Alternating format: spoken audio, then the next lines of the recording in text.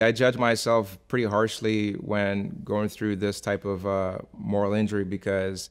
I was going against things that I grew up as. I, grew, I, was going against things that I believe. I was going against things that I know if I was to tell this to a pastor, if I was to tell this to someone that I would hold in high regards, that they would look at me a different way and probably want to sever our relationships, sever our friendships, and things like that. Kind of felt like I was also holding like a secret and the secret was just like very like tight bond binded up on the inside of me and i did not really know how to deal with that